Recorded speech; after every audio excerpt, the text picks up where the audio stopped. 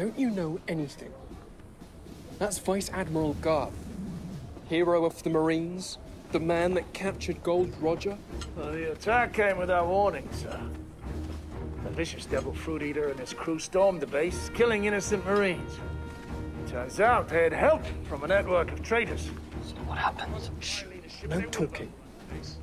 Once they saw my axe, they ran off in fear. Was that before or after you let them steal a map to the Grand Line? That was regrettable. I had to make a decision and opted for the welfare of my Marines. It's a good thing they had you at the helm.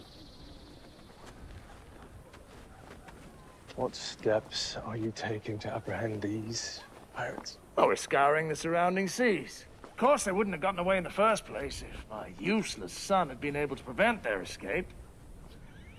He, he probably would have been killed, if not for the bravery of our newly enlisted cadet.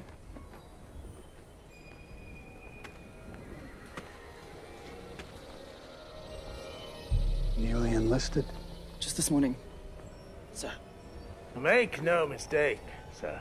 I won't rest until I have every one of those pirates hanging in my yard.